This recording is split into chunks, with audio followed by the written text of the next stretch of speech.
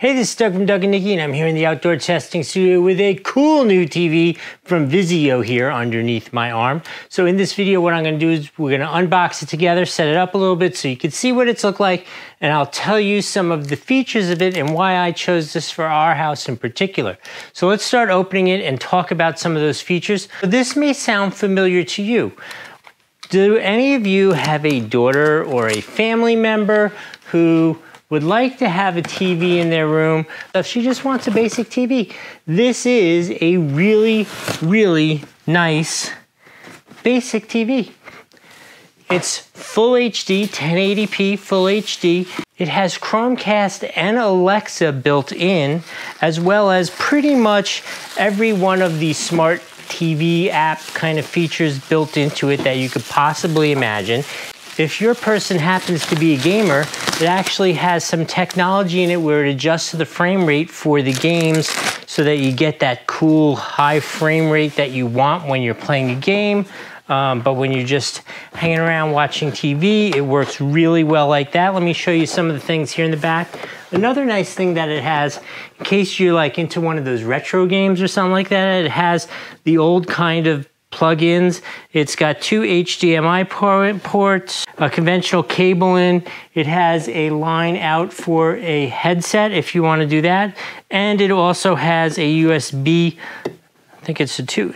And it also has a USB 2.0 if you wanted to put a flash drive in it and watch something like that.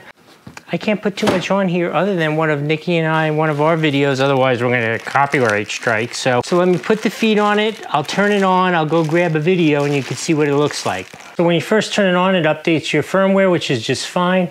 I wanted to say while I was doing that, I really like this remote. I mean, it's really cool. You got Disney Plus, Netflix, Prime Video, Tubi, iHeartRadio, Pluto, all these things set up here. I would like that it had YouTube on there, but it doesn't. Um, it has a really nice disc for control, a home key, volume, a full uh, full keypad for the channel numbers that you want to use. Honestly, this is a really nice control. I'm really appreciating that.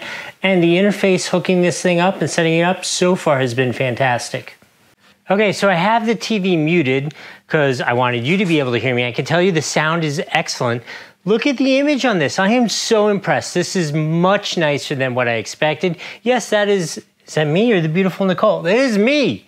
Yes, in Bermuda. So my own YouTube channel, I can't copyright myself, but you could see what a nice image it looks like.